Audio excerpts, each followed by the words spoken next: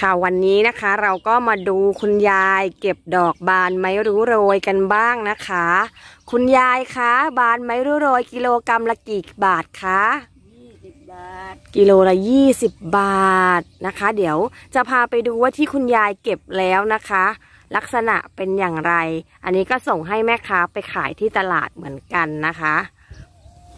จากวันแรกที่เริ่มปลูกนะคะ จนวันนี้นะคะเราได้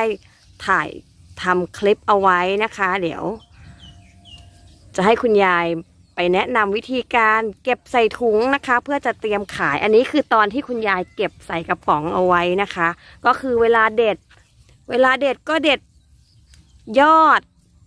นี่ยอดดอกแบบนี้นะคะ ด้วยมือเปล่าๆเลย มีคนชมคุณยายกันใหญ่เลยว่าอายุ 82 แล้ว แข็งแรงมากๆ จากคลิปเก็บมะเขือพวงที่ผ่านมา อืมคุณยายทำหลายอย่างในไร่นะคะ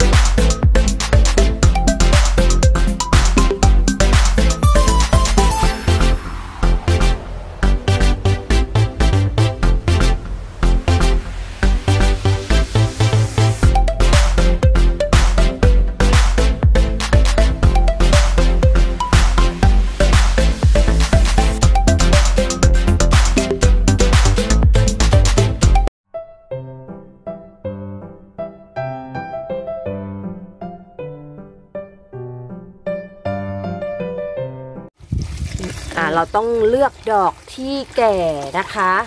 และก็มีงอกคุณยายบอกมีงอกก็คือจะมีสีขาวๆแล้วอืมใช่ไหมมีสีขาวๆออก ไหนขอดูหน่อยค่ะ ดอกงอกนี่ใช่เลย ดอกงอกก็คือดอกที่มีแก่จังมันแก่จัดอืมแบบนี้นะคะก็ทิ้งไปเอาแต่ดอกที่ตุมๆสวยๆ นี่ เอาแต่ดอกที่เป็นลักษณะแบบนี้ ใช้ได้อืมแบบนี้ใช้ได้ แบบนี้ใช้ได้ แต่ถ้าเป็นแบบนี้ หัวมันงอกนะคะ ผมมันงอกแล้วไม่เอามันแก่ใช้ไม่ได้นะคะ